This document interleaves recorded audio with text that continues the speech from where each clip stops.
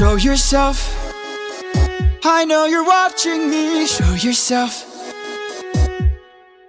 I can see you. How can you see through my spell?